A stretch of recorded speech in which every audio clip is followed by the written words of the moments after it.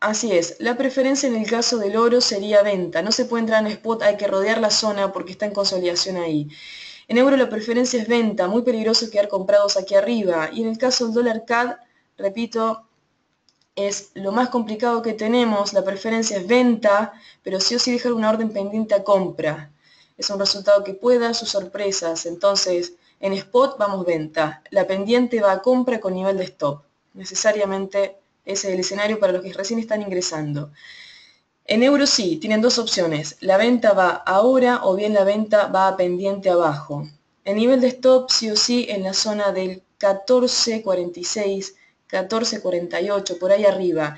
Pendiente a compra en euro se nos complica dejar por una cuestión de que estamos en máximos de mayo del año pasado Exacto. Y el mercado sí o sí va a estar esperando una, corrección acá. Nos faltó el dólar yen, que ya no tenemos mucho tiempo. De todas maneras, dólar yen, precio de compra, es el primero que se ve. Igual no está el precio confirmado, pero el primero que aparece es precio comprador. No está confirmado. No está confirmado. Exacto. Dólar yen no está confirmado el precio de compra, puede caer. Si quieren que se active compra hay que dejarla pendiente. De todas maneras ya no tenemos demasiado tiempo. Así es, el primer precio 112,10. Bien, vamos a ver cómo evoluciona esto. Exacto, sí. En euros, sí. Vamos a ver dólar canadiense. Bien, dólar canadiense también. Ahí estamos ya con la compra activa. Los precios de salida hay que tener cuidado, que tampoco se devuelvan los precios. Así es. En euro la venta sí, Nada se tiene que devolver. Es lo más peligroso que se devuelvan los precios. Estamos hablando de un on-farm completamente bidireccional, que hace ambos efectos. Hasta ahora, hasta ahora sí. El oro sí, la venta ya cumplió su target. La venta ya cumplió su target en oro. En euro, en euro, vamos a ver, no se tiene que devolver el euro al 14.10 en lo posible no tiene que devolverse al 14.10 el euro para mantener la venta. Y en el dólar canadiense, para mantener la compra, no tiene que devolverse al 30.45, 30.50. Exacto, así que cuidado con eso. Los precios no tienen que devolverse. Si ven que se devuelve a su punto de entrada, se salen de la transacción. No, paciencia nomás.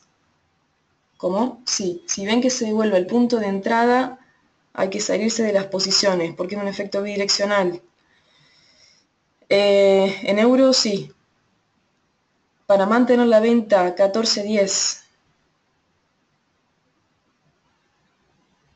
Es exactamente. No, no, esto va a estar así un rato. Esto va a estar así un rato. Lo importante es que no se devuelvan sus precios de entrada. Si ven que se devuelven y están break-even, ahí lo mejor es salirse y esperar.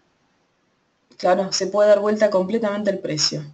Vamos a esperar a ver cómo evoluciona esto. De estos 15 minutos, ayer levantamos esta información ya que se hizo larga la sesión. Target cumplido final en, en euro dólar. Sí, lo pasó un poquito. 13.74, dijimos 13.77. Así que estamos bien con euro. ¿Puede caer un poco más? Sí. De hecho, si queda mercado vendido, del 13.74 va a pasar al 13.31. En esta zona se descartan las compras, ya mismo estemos en zona de compra. En dólar canadiense, los dos targets se cumplen. Nos queda el último, que es el 31.81. El precio tiene que mantenerse sí o sí arriba del 30.97 para mantener la compra. Quien se salió de las primeras compras ya no podría ingresar. Ten en cuenta eso. El oro ahora lo que va a hacer es devolverse al 1216,74 y ahí sí quedar comprador de nuevo. El primer target es el 1224,71 y sería, no hay más, es el primer target y hay que respetarlo, ya que es viernes, difícilmente el mercado tenga mucha fuerza a partir de ahora para comprarse, así que puede únicamente cumplir ese rango y después detenerse.